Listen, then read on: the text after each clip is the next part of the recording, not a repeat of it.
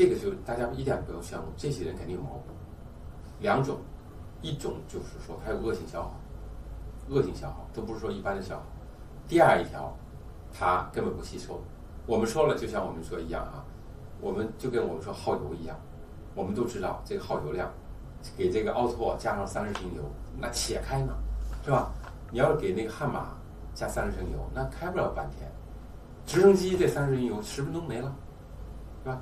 那我们要说这奥拓这三十升油今天上下班没了，那两个问题，就第一个肯定他今天没有在班上待了，一天就在家里到处跑呢，遛弯玩呢，开着玩呢，就还有一个油箱漏油了，对吧？